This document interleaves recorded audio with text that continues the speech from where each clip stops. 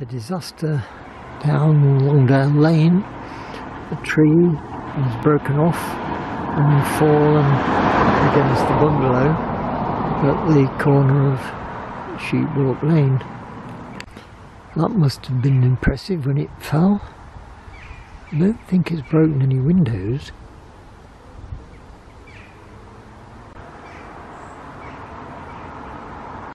And by 12 o'clock on the same day, Sunday the 7th of July 19, the trees had been removed.